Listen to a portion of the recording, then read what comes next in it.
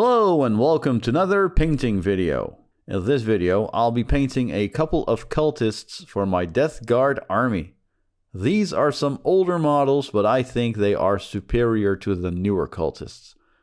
They might look a little stocky, but I do like the Mad Max vibe they've got going on. Let's begin, shall we? After giving the models a zenithal of white over black, I start with base coating the robes with Death Guard green. I keep the paint a little bit watered down and add two coats.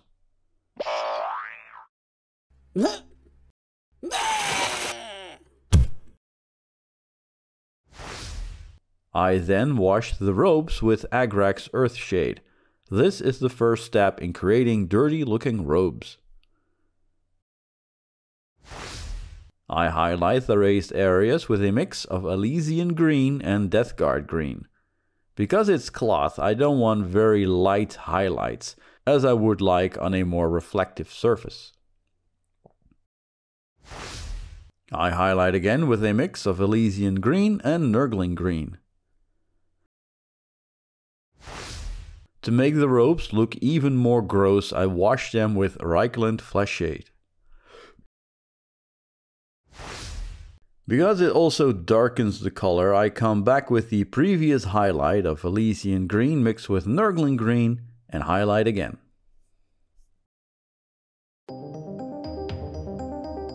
For the hoods, I wanted to go black. First, I painted with Black Templar, but I wasn't really happy with the coverage. I then added Corvus Black on top of the previous layer to smooth down the streaky Black Templar. In retrospect, I think Black Templar works better with the darker surfaces. To darken the recesses, I washed the hoods with Nuln Oil. And highlight with two colors. First with Stormvermin Fur, and second with Dawnstone.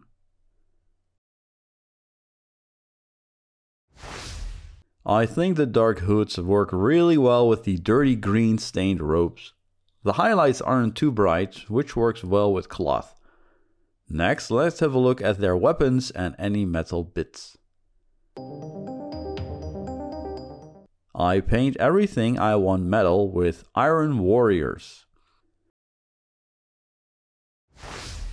Things I want brass, like the Chaos Sigils, are painted with Skullcrusher Brass.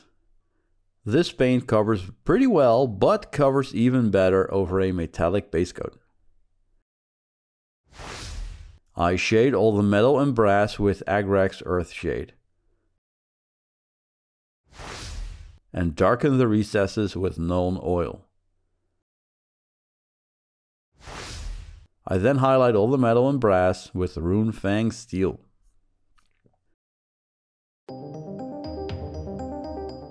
Let's paint all the small details next. All the leather straps and boots I paint with Gore-Grunta fur. Highlight with Skrag Brown. And highlight again with Deathclaw Brown. All wrappings are painted with Skeleton Horde. And highlighted with Screaming Skull. Lenses are painted with Blood Angel Red contrast paint. And then I add a dot of Dorn Yellow for the light reflection. The weird tubes they have I paint with Tesseract Glow. Makes it look like toxic ooze is being injected in them. Just what the Death Guard would do. These little guys are nearly done. I try to keep a simple color scheme here because you'll want about 20 of these guys to hold down objectives. Last thing remaining is to paint some sickly skin. First, I base coat with Rakarth Flesh. And then shade with Druchii Violet. You can also use a more reddish shade if you want the skin to look a little bit more alive. I layer on a mix of Rakarth flesh and Pallid Wych flesh on all the raised areas. And highlight with Pallid Wych flesh. The dead Deathskin mask I paint with Guilliman flesh. First, very light on certain areas and then a thicker layer to get a little variation on the mask. Finally, I add blood for the blood God on the mask and any bandages I can find. And here we have some Death Guard cultists ready to horribly die in battle. I only had about 3 of these to paint to finish a 20 man squad, but I thought it would be fun to make a video out of it. What do you guys think of these old cultists? Personally, I love them. And you can even pair them up with some renegade guardsmen from Blackstone Fortress and Kill Team to get even more variety in your army. Be sure to check out my Instagram, where I post pictures of current projects and behind the scenes stuff. But for now, thanks for watching.